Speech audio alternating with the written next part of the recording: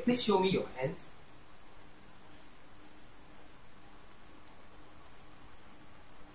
You please turn it over?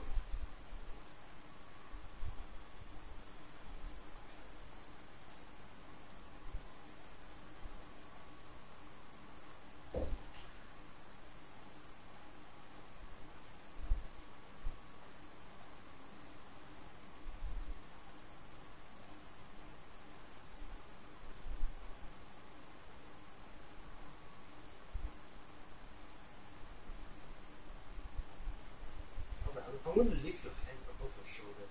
Is it okay? If you is any pains over your shoulder?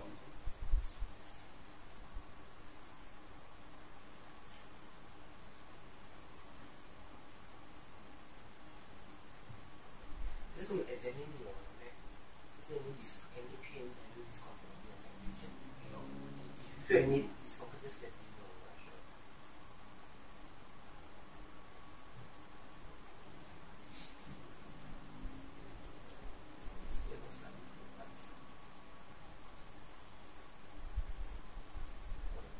Can you just turn your leg slightly